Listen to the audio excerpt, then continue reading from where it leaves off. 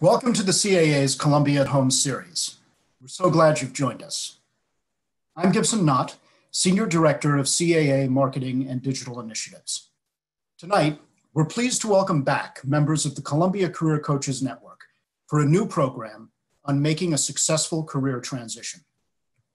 After the panel discussion, we'll have an audience Q&A. You can use the Q&A feature at the bottom of your screen to submit a question. We'll try to get to as many as we can in the time that we have. The panel will be moderated by Eric Horwitz.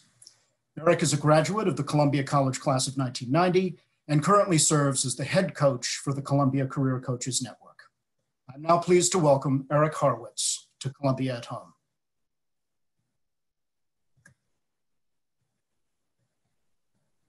Thank you very much, Gibson. Um, really excited to be here. And uh, just to let you know that I, uh, in addition to running the Columbia Career Coaching Network, I also am involved in all uh, the digital aspects of Columbia alumni and ensuring that we uh, share as much information as possible.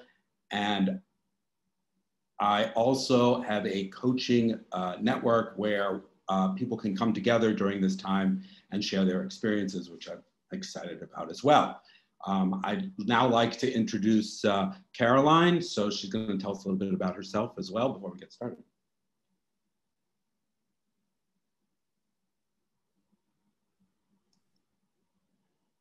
Hi, my name is Caroline Ceniza Levine. I'm Barnard class of 93 and stay involved with Columbia uh, teaching salary negotiation at Barnard's Athena Leadership Center. And I'm a an adjunct at SIPA, where I teach professional development, and I run the career curriculum for Columbia Business School's executive program in management. And I'm a multiple time career changer, so I love talking about career change and excited for the rest of the program. And okay, thank you so much. Uh, uh, Julia, come say hi.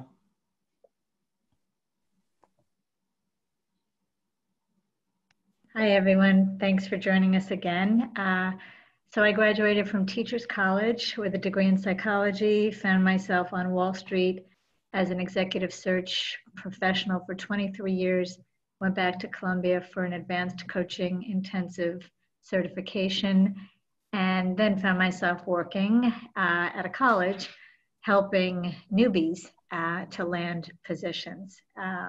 While still being an executive coach. So I'm thrilled to be here to discuss a lot of the shifting sands and things that are changing and how we stay afloat and even perhaps thrive in this type of situation and market. Mm. All right, thank you so much, Julia and Caroline. So uh, each of us are going to give sort of a five-minute uh, tips or things to think about or when, when you are thinking about or considering a career transition.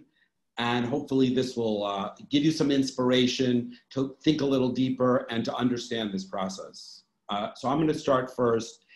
And uh, I just wanna say this, a career transition is a very stressful and interesting and transformative opportunity in your life. And probably why this has always been a challenge is because either your mother or your father once said to you, what do you wanna be when you grow up? So if you think about that question, it only would have one answer, right? Not what are the things you want to be when you grow up, but what is the thing you want to be when you grow up? When my mother a- asked me that, I said I wanted to be an astronaut, and she said that was too dangerous, so I needed to go back upstairs and think of something else. Okay? So, number one thing to think about is that question, what do you want to be when you grow up, is not a good question. So, uh, things to think about when you're thinking about this point is number one, human beings, the average age of somebody is now, you know, late 70s or even 80s. So the idea that you are going to have one career over all the span of time sounds near impossible. Secondly, in order to be somewhat of an expert in any one field, it takes about 12 years till you can master it. So at that point, after 12 years, you may actually get bored with the thing that you mastered right? And if we say we're going to live to 78 or 80, that's a couple careers in there. Number number three in that, what do I want to be when I grow up? A hundred years ago, uh, boys worked in a coal mine and maybe died at 15, and women died in childbirth, right? So there wasn't a career, there wasn't a long span thing, there wasn't even idea or a notion of all these things that we have now. So this whole concept of your career is, I mean, you know, the 60s, the 70s, the 80s. It's very new, okay? And finally, what happens to us over all this time is we mature physically, we change physically, mentally, emotionally, spiritually. We're evolving beings. And obviously, there's a lot more self help in the world now. And so we're evolving. So, what you wanted to do at 20 and what you want to do at 50 can be different because you've changed. So, my second main thing I like to help people with is what is your immigrant story? So what does that mean? Oftentimes when people come to this country, and a lot of people come to this country from many different places, the first generation is, you know, in some working field, right? And they say to their children, you should be a doctor or a lawyer or something in the professional field. So then the second generation is generally a doctor or a lawyer or something in that way. Then the third generation generally will move into the business, like into the business area to make a lot of money or to not necessarily need a title in order to gain acceptance in a new country. And then the fourth generation basically wants to save the world. So when you're thinking about even making your career change, you got to really think about, you know, where's your family from? How long have you been in the United States, for example, or any country? And where are you in that immigrant story? Because that story is a very powerful narrative that can affect things. And finally, I just want to say, if not now, when? We had COVID, and I want you to think about all the industry, there isn't a single industry that hasn't been upended. And they could be upended for good and upended for bad. So if you go through, even you can write this down, government and politics, food, real estate, travel and leisure, consulting, any of them, each one of them, and I can tell you, Caroline and Julia, we work with different people, are experiencing this massive change. So if you're thinking about changing, all the cards are up in the air now. It's a good time. So that's kind of my like tough stuff to think about. And uh, now I'm going to turn it over to you, Caroline, and maybe you can share some perspectives. Yeah, thanks so much, Eric. So I agree 100% with some of the things that you pointed out regarding that we're going to have multiple careers. And, you know, my journey, I started out training as a classical pianist. I attended Juilliard. I did Barnard's, uh, Barnard and Manhattan School of Music joint program. I uh, thought for a long time that I was going to be a pianist. And then when I got into college, I realized I didn't even like classical music. Mm-hmm. So I think that a lot of times you, you kind of fall into these, these roles based on perhaps what your skills are, perhaps what you were told when you were younger. Um, the other thing that I was super interested in was all things money. So I double majored in economics, found myself in investment banking, management consulting, then I did retained executive search. Then I missed the arts. So I left corporate altogether and became an actor. And I always tell people I don't take that career change lightly. I went from six figures to three figures. So, um, you know, as an actor. So obviously, I was not only doing that. Um, I started coaching people. I started taking on recruiting projects. If you told me 20 years ago that I would be an entrepreneur doing a number of different things, I would have told you there's no way, but then here I am. And that really happens to a lot of my clients that, you know, career change isn't linear, that it takes a lot of experimentation, and that many times you're going to be doing things that you hadn't expected that you would be doing. And that's okay. And so, uh, you know, I think I'm going to mention a couple of things that I think that are counterintuitive for folks. So one is, that when you want to make a change, you want to banish the words new, change, or transition from when you're telling your story. I always tell my clients, and I did this myself, and this is how I was able to move into many, many different fields. I split my time now between recruiting projects, coaching projects, independent film projects. I'm a stand up comic, and I invest in real estate. And that's why my website is called Focus is Overrated, because I do a lot of different things. And I didn't ask for permission to do any of these things. I just produced a film and I just did a real estate deal. And then I called myself a film producer and a real estate investor. And so banishing the terms new, change, transition is a really, really good start. But the other thing that I'll mention, having been an executive recruiter and having recruited for over 20 years now, is that the recruiter self myself would not hire my career change self. So you want to be thinking about the mechanics of a job search and what employers want. They want the person who has done the job before. And so you want to be thinking about how am I going to present myself? Uh, if I haven't done the job as a job, how am I going to present myself in a way that assures them uh, that, that I can do this? And then the final thing that I'll say that might be counterintuitive for folks is that um, part of being a career changer is that you're willing to walk away from perhaps the story you told yourself before, or maybe your original goal or goals. So I mentioned that I started as a classical pianist before I realized that I didn't even like classical music.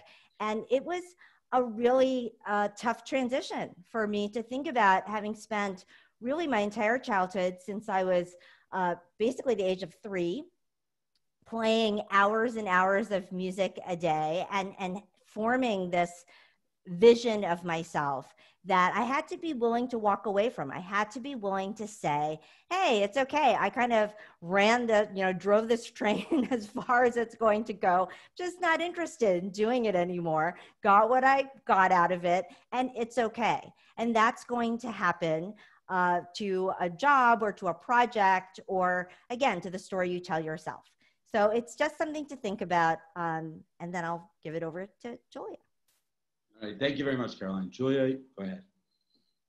So just to piggyback on the fact that this is a historically different time. Um, we've never in our lives before had five generations in the workforce, ever before. That means you have to really figure out who you are and what you bring to the table. I call it your professional identity um, most of the time when I'm coaching, people come to the coaching process in a state of fear because things are changing and we resist change. We like things to stay the way they are. And one of the things that's most beneficial is to switch your thinking, not to what's happening to me and I'm gripping and I'm afraid and I won't get a job or I won't be able to pay whatever bill, but to actually switch your thinking to be what do the employers need? And two, what problem am I solving?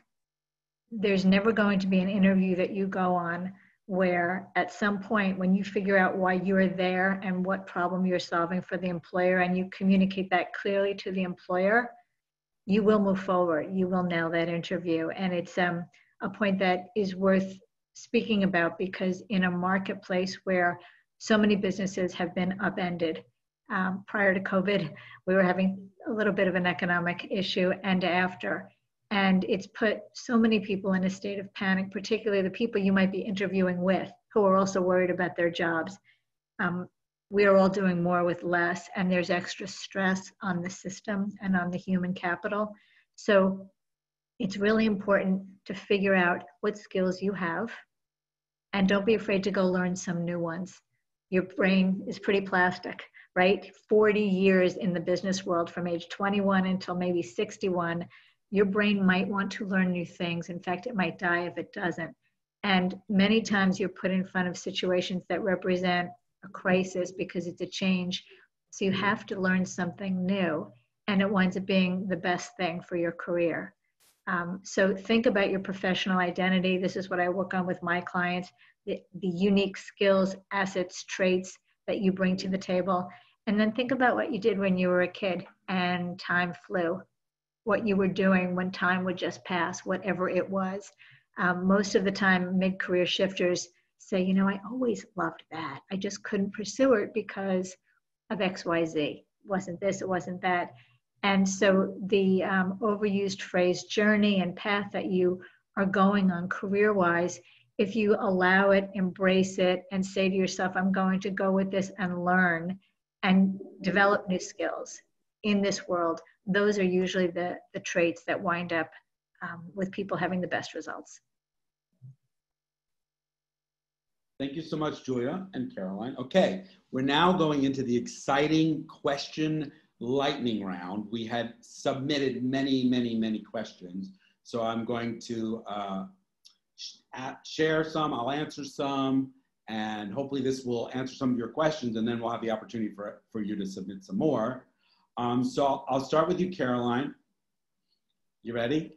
Sure. Okay, all right. Are there some job functions like HR that are recession proof?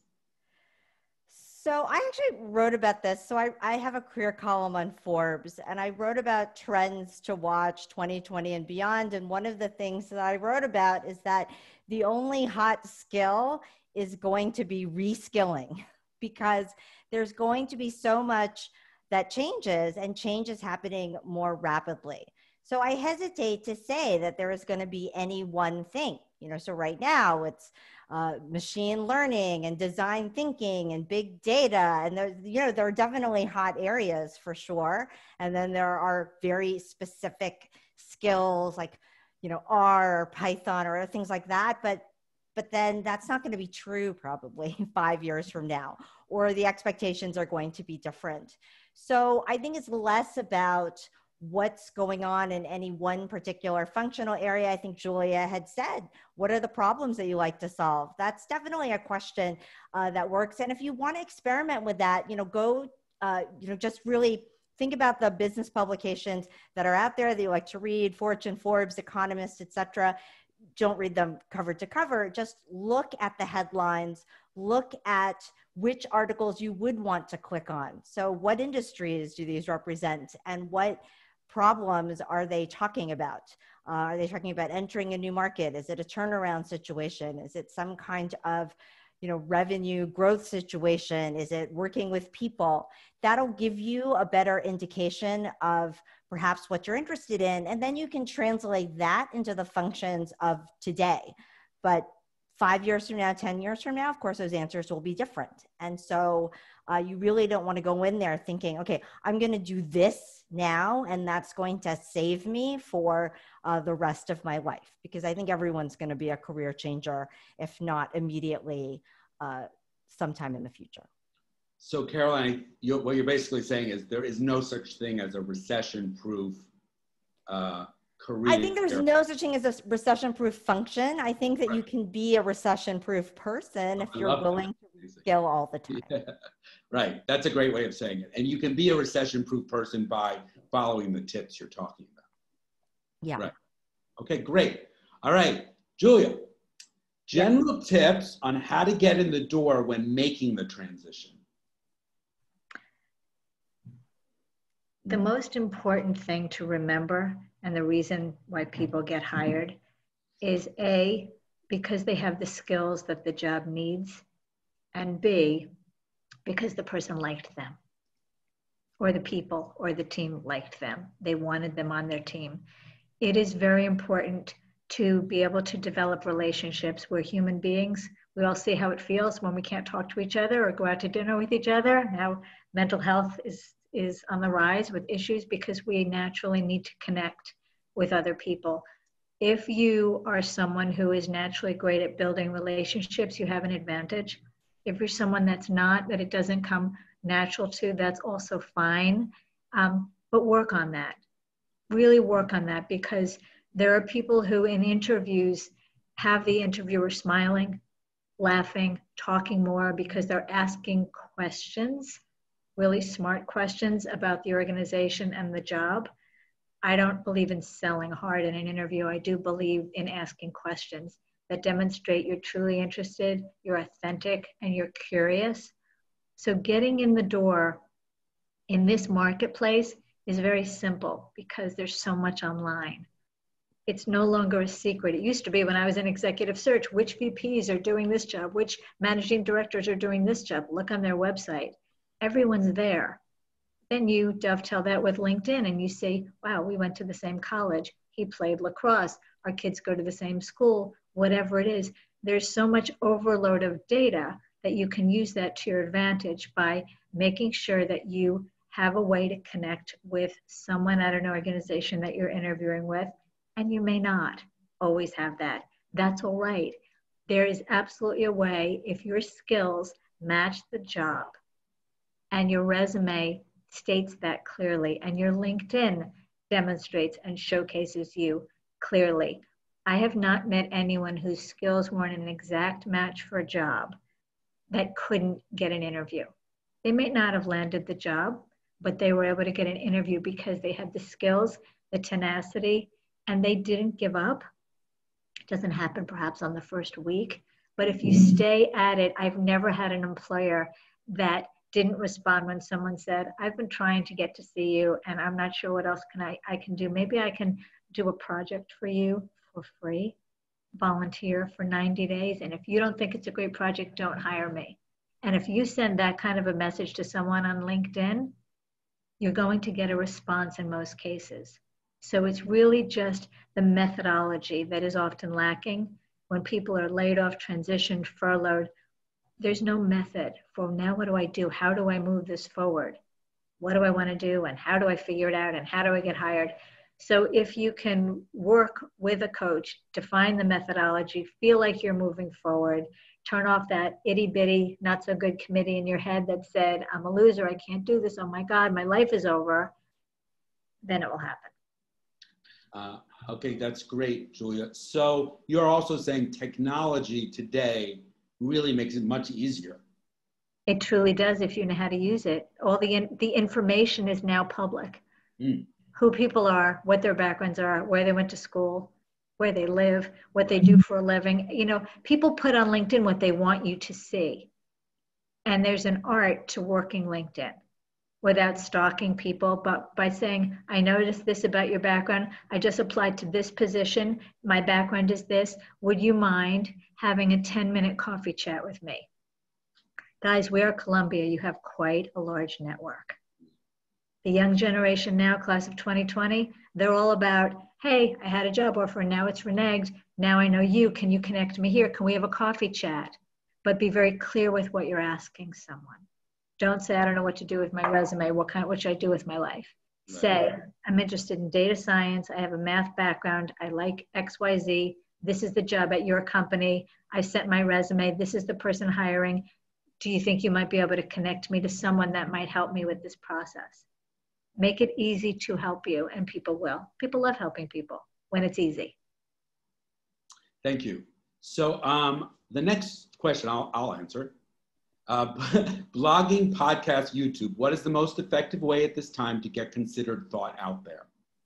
So, what I want to say about this is all the tools, all the social media tools, and Google and YouTube and Twitter and, and TikTok are all methods and all should be considered when creating your digital persona. Because employers oftentimes will get your resume, but search your Instagram or your Facebook, okay? Because they want to see who you actually are. So what I like to do is make a list of every single tool that's out there, considered that any person can see any of them, and what are the messages that I'm specifically wanting to share in all those platforms, and being comfortable with, with each of those, and being able to express my true self, what I, what I want, what I like, um, understanding that that is essentially my real resume, as opposed to the thing that I wrote and put in a PDF and emailed. So I would say each of them, all of them, and you need to be as proficient as possible. Sometimes when I work with older older people, they're saying, "Oh, I'm too old," and I say, "It's not that you're too old. It's are you using the technology to show what you can do, regardless of your age?" And so you're more reflected by your ability to use technology than your actual physical age. Uh, okay. All right. Um, Caroline, you ready? Sure. Yeah, okay. Does it make sense? I think this is a hard one to go to grad school after a long gap, say 30 years. So there, I feel like there are several questions in that. There's the should I go to grad school? There is should I go to school after a long gap? Right. And then there's this kind of implied question of, and if I didn't do that, what else would I be doing? Right. And so I think that's really the, the question. It's funny because I've, I've been teaching at SIPA for so long, and yet I'm one of these people that says you don't have to go to graduate school and you don't have to go get a formal certification or get an advanced degree, depending on what it is that you want to do. Now, I actually know someone who was a banker who went back to med school to be an anesthesiologist. Now, he had to do that in order to, to do his chosen profession. I wouldn't want him reading self help books and then trying to get a residency out of that.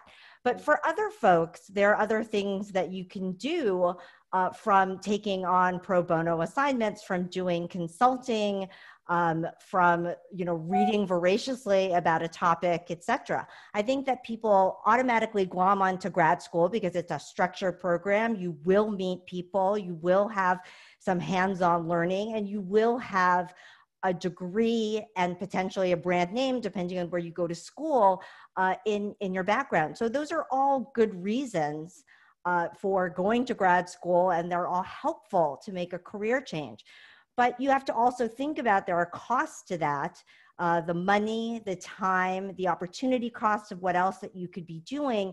And depending on what the cost is the payback the return on that investment depending on when you're you're going to be doing it if you're 50 and planning to work for another 10 years are you going to be able to make that back and how much do you want to do this? So there are just a lot of questions uh, to plow through. There's no one right answer for anybody and hopefully you know some of those factors that are kind of listed out there uh, will give you something to think about and will give others on this call something to think about as they're weighing whatever their next options are because we could have talked about grad school we could also talk about uh, what are the benefits of taking a six month returnship or a three month unpaid internship or potentially relocating somewhere. So again pros and cons time money opportunity cost. So so caroline in a coaching situation you would unpack this with somebody into its deeper whys or what? Yeah, absolutely. Because the grad school is the how, right? Uh, uh, sometimes it's it's a, a why in and of itself. People want to have. They've always wanted to get a PhD. They've always wanted to get a master's in this particular discipline. Um, but just based on the on the question and based on the topic of of the day, typically, you know, when people ask me about grad school, it's grad school is not the end game. It's the means to something else. And so, really, what you're trying to what i'm trying to to verify as a coach is you know what is that something else? And what's the best way to get there for that person? And again it might be grad school it might be something else. That's great. Thank you. Okay julia i think this one's a good one for you. Okay.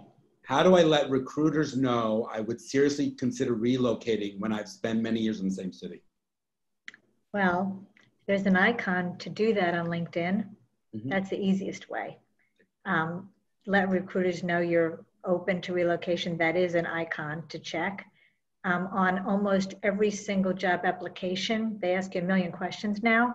Are you open to relocation? Or in your LinkedIn, the About Me, it's right there. The minute you apply to a job, someone is going to be checking out your LinkedIn profile. So make sure you have one. Your picture is good. It's not in your pajamas you, you look like your picture now. I know we all used to look great, but you have to show up in the interview and they have to recognize you. That's important. And you can put in the About section, born and raised New Yorker, open, geographically open, depending on the opportunity. In other words, if this is a compelling opportunity, geography won't stop me. That's really what you want to let people know. Not just I'm, you know, I'll take anything, but based on the opportunity, um, open geographically to considering excellent opportunities. It's an easy way to let people know that. Julia, have you seen anything with COVID in terms of working from home that changes that at all? Well, um, it's now going to be a seismic shift in the workforce because firms are now realizing that their real estate is expensive and they're in many cases having people who say, I have kids at home who don't go to school just every other, you know, three hour period that I'm not working virtual. So this COVID virus has transformed the thinking of the educational system, who's online, who's not, the work system, who's online, what can be done virtual. But what has not changed is the mission of the organization. And what has not changed, the mission of education systems. We need to businesses get our products out. We need clients. If you can do that from wherever you are, I am not in San Francisco or anywhere near it. So if you can prove your value, the earned privilege is hey guys, I'm going to be working from here and I'm not commuting two hours a day each way anymore. Those days, I hope, are being rethought because it's smart and it's efficient not to have people commute one to four hours per day. So think about your geographic flexibility, particularly now with COVID. Um, it also allows you to see how forward thinking organizations are. I know an employer who asked someone to show up physically in an interview a month ago, and they said, no one's doing that. And they were stuck in that mentality. So that's very telling about an organization. You have an, a shot now to be more geographically flexible than ever before. So take advantage of it. Thank you, Julia. Um, okay, so the next question I'll answer. How personal can I get when explaining why I changed careers? So this one, I mean, my personal opinion is to go ahead and risk being authentic because what it will tell you when you're authentic about your career change is about who you're working with. So, as a personal example, I switched careers to become a coach from an executive at PricewaterhouseCoopers, and I took a year off and I was raising my children. So, when I went for a job, I said, I explained that I took a year off to raise my children, and the person was a father also who was admiring the fact that I had taken the time to spend time with my children during that break, right? So when you are authentic with a career change reason, you run the, the risk and the opportunity that the person you're talking to either admires you for doing it, has done it themselves, and it will get the conversation into a much deeper, uh, more connected uh, situation. And if the person doesn't get it, doesn't agree, doesn't like well your answer because you didn't give a stock answer, it's probably also ultimately not going to be a good fit for you. So I say, go ahead, tell the true reason, because also the stock reasons are been heard so many times that they don't even sound believable, and then you don't sound believable. So um, I would practice that in advance. You know, you can, when working with a coach, you can practice that authentic transition conversation. And if it rings really true, it will be attractive to uh, employers because they'll know you did the thinking and the work. Okay, um, we're gonna have one more question for Caroline and one more for Julia. So Caroline, um, how do you, how, okay, how to network with someone online without being awkward and have deep conversation? So, so I think there's there again there are a couple of things to unpack here. So one is the networking online, and the other is a deep conversation because a deep conversation can happen and you can imagine that you're on a zoom with someone that you know well and just because you're on a zoom as opposed to a phone call or as opposed to a coffee face to face you can still have a pretty genuine deep conversation because you know them the medium is not as important there because you have this history now obviously if you aren't comfortable on a video call or you have a terrible reception or something like that, that makes it harder, right? So I'm assuming that the technology is there. And that's a hint to the, the first part of it, right? Is that you need to get comfortable with virtual networking. So that's comfortable with Skype, Google Meet, FaceTime, Zoom,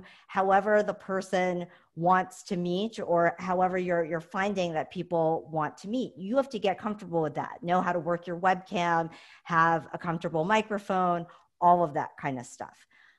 But then secondly, you also want to have a genuine ongoing relationship. Um, it isn't about inviting someone to connect on LinkedIn and then immediately saying, Can you help me do XYZ? I think that's what gives networking a bad reputation. It becomes like this two step process the approach and then the request. And the best networking is actually four steps. So before the approach, there's the research. It's looking that person up. It's trying to figure out, okay, when I approach this person, how am I going to do it in a way that shows that I'm genuinely interested in them and not just anybody that I could be talking to, and that there's a clear reason why they might want to interact with me. So that takes some research and that takes some preparation. So step one is research. Step two is the approach. And then before the request, if ever, right? Because you might just be having this great long term relationship, before the request comes the follow up. It is not about hello and what can you do for me? It's about hello and then how are you? And oh, hello again. And let's have another conversation. And maybe at that point, there comes the request. And so follow up is, is really important. And most people don't really uh, do a lot of that. I know when COVID hit, I emailed and I called hundreds of people just to check in and to see how they were doing. And so many people were really grateful that I, I did that and really wanted to talk. We're now all zoomed out, but before right. it was kind of fun to get on Zoom and have social Zooms but um but you know so that's but you know I, I did it because i was really curious about how people were doing. I wanted to reach out. I wanted to rekindle that connection at a time where i knew that people would be really stressed and really worried. And i'm talking about 300 reach outs so you really want to be thinking about am i only reaching out to people when i need something? Because if so that's right that's not good. Um, but otherwise uh, if you're reaching out over time, developing a relationship, whether that's over phone or email or Zoom or live when we can do it live, uh, that's how you develop those deep connections. And then when we can do it live, you got to follow all those rules you said. The same. Still, yeah, you still absolutely. It's not just hello and what can you do for me. Right. Uh, great. Okay, Julia. One more from the past, and then we're going to get into the live Q and A.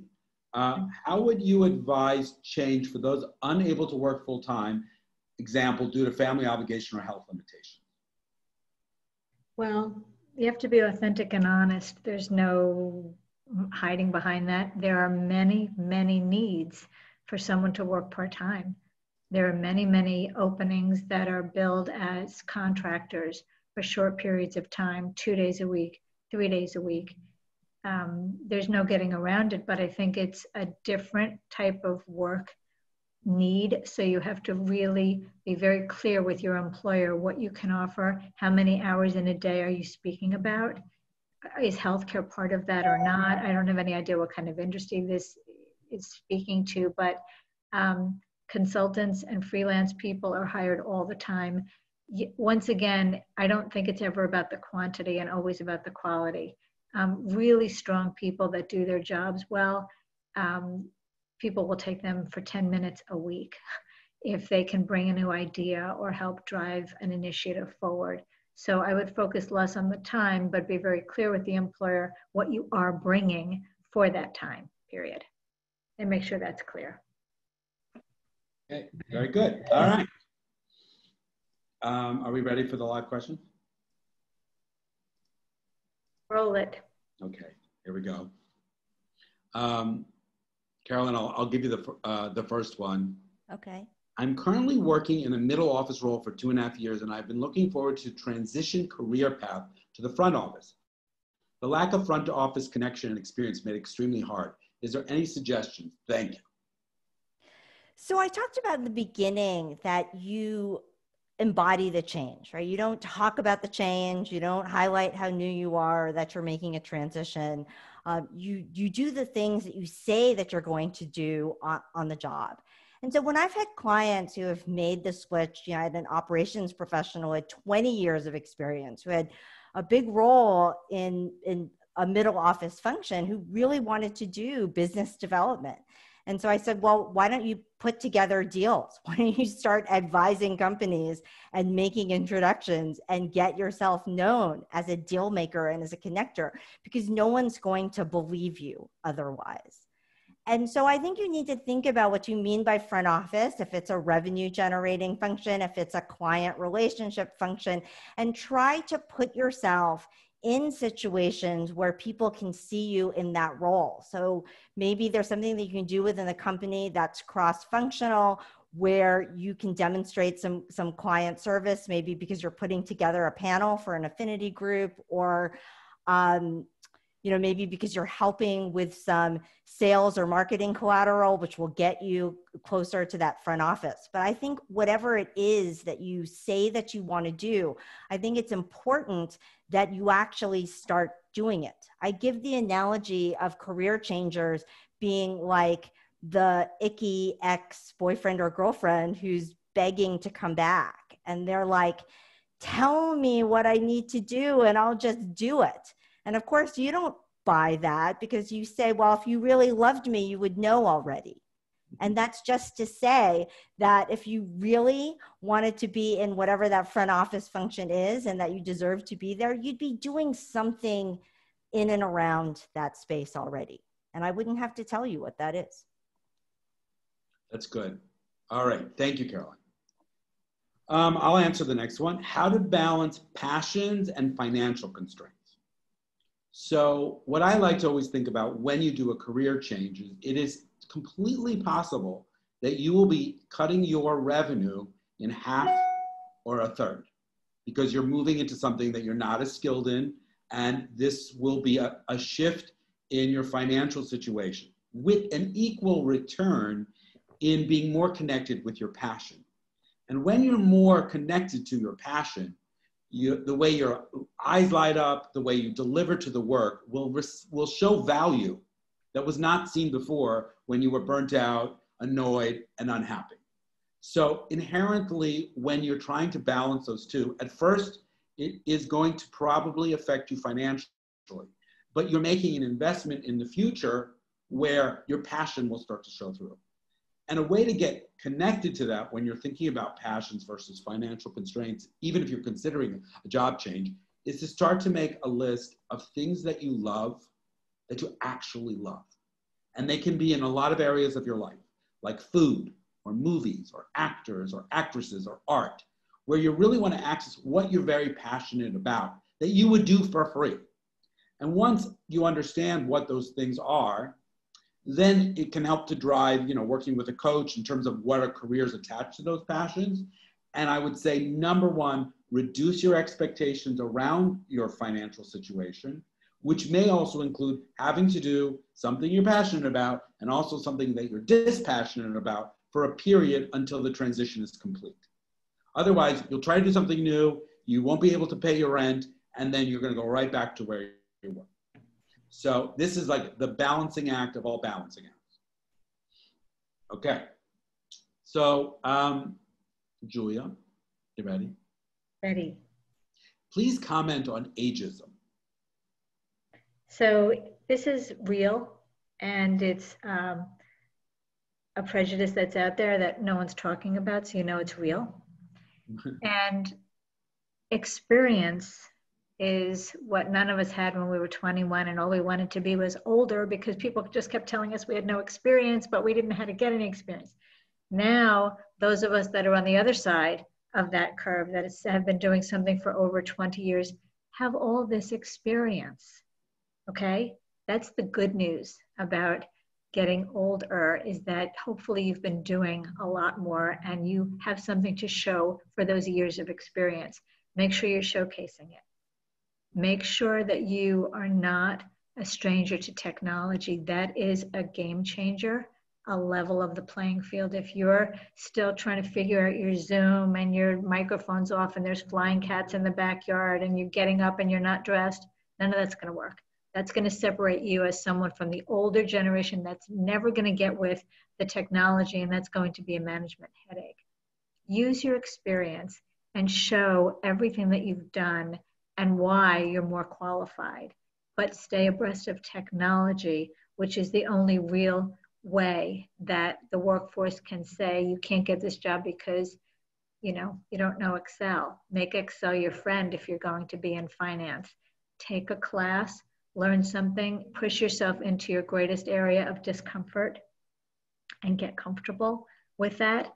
Um, and then don't look for positions with entry level people. Look for positions where your experience is valued and leveraged. And don't be afraid to start doing the work and to say, I know that I'm changing careers and I haven't done XYZ before, but here's a portfolio of some of my work and XYZ that I've been actually starting to do. This is all about minimizing the risk to an employer. That's what a resume does. That's why they ask college kids a GPA. What have you done somewhere else so that I can get comfortable that you're not going to mess up here? So it's all about minimizing the risk. And the only reason they'll hold ageism against you is if they think you're going to take longer or um, create any kind of management headache or perhaps have a real big ego and are going to be difficult to manage if someone happens to be younger than you who's your manager. So I think, Julia, what's interesting about that is sometimes I'll hear people refer to ageism when I know that's not the issue. So if you make it your go-to, you might miss the point of what feedback you're getting. Correct. Like anything, right? Any, you know, just be really open to, you know, there's no failure. There's just feedback. Mm, that's really good. Um, okay, uh, Caroline. Sure. Uh, what do you do with a PhD that you don't need anymore? Can it make you overqualified? Is there a good way to frame it to make it relevant? Yeah, so relevance is about the person that you're talking to. So depending on what you're you're trying to do, I, I said earlier that one of the the things that you need to do as a career changer is to have the courage uh, and the constitution to walk away right? And to say that you're okay like not doing something. So i talked about for, for myself classical piano. I don't know what your phd is in but you know the the piano example uh, it's interesting. I've had employers who have introduced me as someone who studied at juilliard even though it was actually a, a, very analytical position and there's no way that i would be doing anything that was remotely related to my, my music career but i think they just thought it was one of these cool things. And so what you did before so this phd could be useful to the other person because they think it's a cool thing, because they know that you've done exhaustive research, because they know that you have been able to persevere and to actually finish and you're not an ABD or you didn't stop at, at just the master's, you went all the way through to the PhD. Depending on what your area of expertise is, the actual expertise uh, might be something that is relevant to whatever it is that you're you're trying to do. So I think it's about and this is for everybody on the call, it's always about understanding your audience and figuring out what is relevant to them.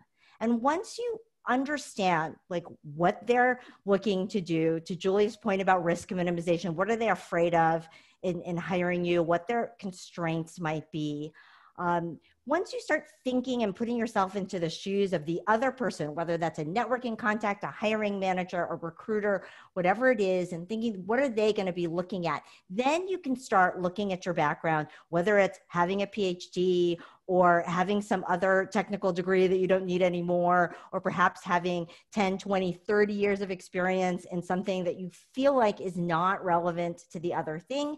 And then you can massage it. It's only when you understand what the end game is, is that is when you're going to be able to make that transition and that bridge and explain why it's relevant. I'm sure it's relevant for some reason. I, we would just have to uncover what that is. And you may not know why, like you're saying, it's relevant to the person listening.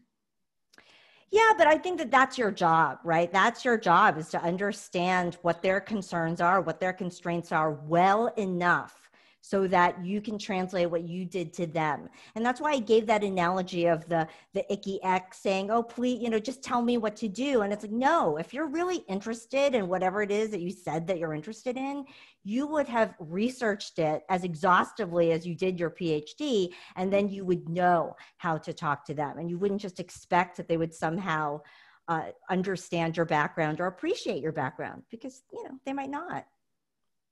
Um, so Caroline, that question leads to the next one, which I'll ask myself, which is self, are employers less concerned about gaps in your resume today than they used to be if you had long stints at companies before and after? So from my experience, after 2008, the obsession with having no gaps in the resume started to drop. So you were able to have a drop because you could say, well, there was the financial crisis, and then people were more open to a conversation. So the dogma and stigma around never having a gap definitely lessened. I would say after COVID, it should be officially dead. Okay. However, there is a way to work that that process through so that it's a very comfortable conversation. And the way I like to do that is basically developing your career hero story. It's going to have a beginning, a middle, it's going to have an exciting situation and then a, maybe a little bit of a tragedy and then an exciting little hydra that comes in to fight you off to get you to where you are now. So if you sit down and really write down, even from childhood, like if you were selling lemonade, what is your career story? So like Caroline saying she has a really exciting, interesting, diverse story. Then you can weave into it why the breaks happen, what you did with the breaks, and what you learned from them and where you went. Okay, because the most important thing I like to tell people is like your career is a jungle gym. It's not a ladder. Okay, so it's not just going to go up, up, up, up, up. It's going to go here, and then it's going to swing over there, and then it's going to happen there. And you want to tell a compelling story about it. So if you sit in an interview and you and you just let them ask you questions, you're gonna get. They're gonna be like, so why was you? Why did you have a break from November 2008 to January 2009? And then you're gonna be like, well, I worked at Lehman Brothers. Okay, so that is not the way to tell the story. To tell the story is to have the story, to know the story, and to be in conversation about it. Um, and that's a much more interesting, compelling way to not have anxiety about the gaps. Okay. Uh, Julia, ready? Yes. Okay. Um,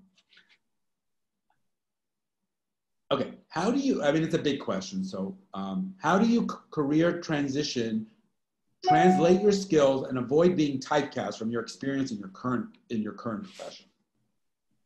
By divorcing your skills from the job. So I worked in investment banking doing executive search. Now I work at a college helping students. But what I really do is help people navigate their career transitions, right? So if you can take the core of what you do and say, I help people solve their financial problems, I help people with their healthcare needs.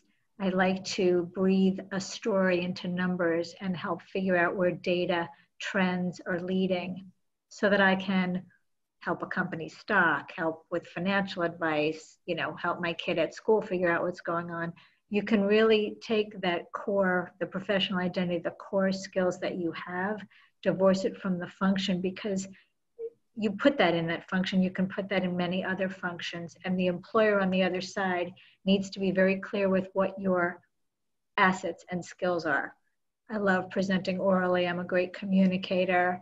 I hate accounting. I love this. Whatever it is, make sure that you're very clear on your skill breakdown. Um, and the other um, small piece I'll add to um, what Eric was just speaking about, my favorite interview question now is what did you do during COVID? Mm, what'd you do? And you can bet those people that said, well, I taught myself a coding language, taught myself French, taught myself piano, I played Xbox. Who would you hire? So, gaps in a career, you didn't do nothing, right? I wasn't working in that job. What were you doing? Well, honestly, I started volunteering and I saved 180 shelter puppies, whatever.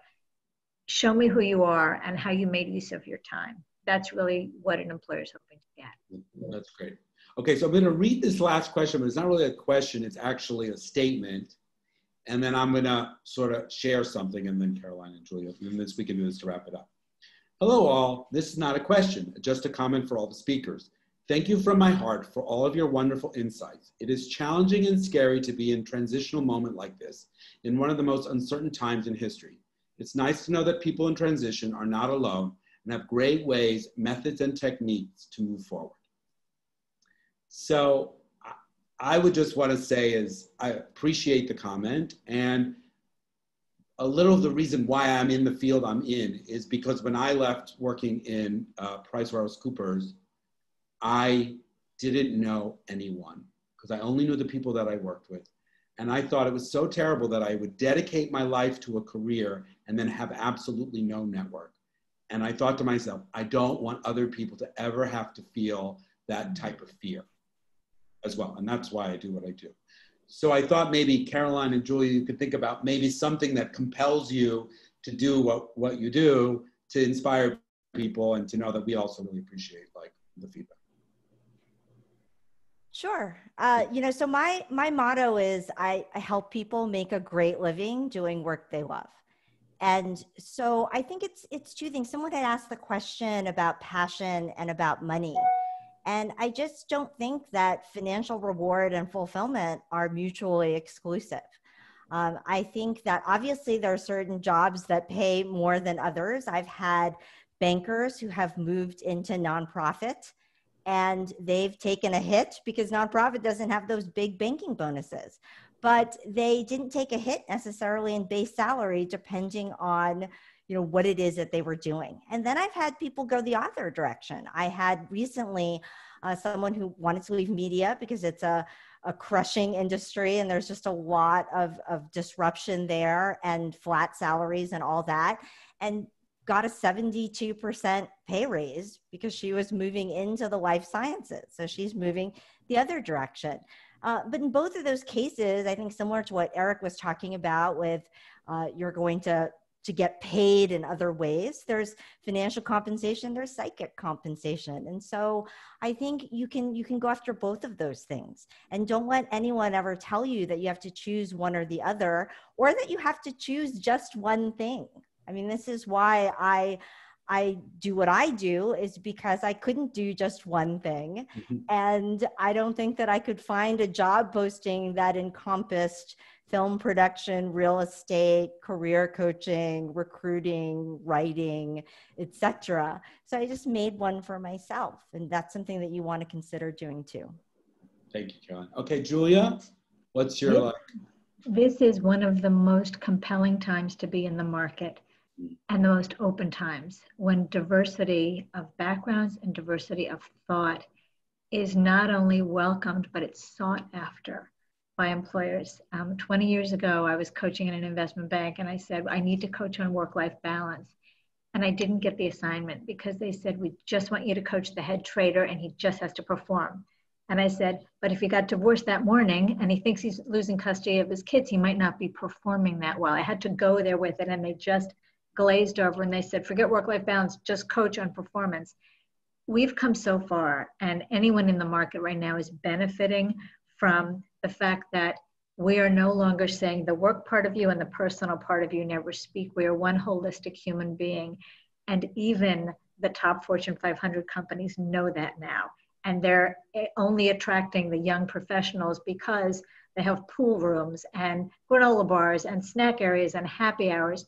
If you are not fulfilled in your career currently, it's a wonderful time to take stock and figure out what's missing. That's why you're not happy or sad. It's a good thing. So then you know something's missing, figure it out what it is, and move to your area of greatest discomfort. And you will find that you'll be very thankful that you did, and the sense of productivity and like, look what I just went through, but look what I made out of it. Um, and this is an incredible time to be doing that. Thank you. So um, I'd like to thank everybody for joining us with this hour. Uh, Columbia Work From Home has other uh, programs which you can also join in. And we shared all of our information um, in the chat bo box. So please, if you'd like to reach out to any of us, hopefully we can help you or find someone to help you.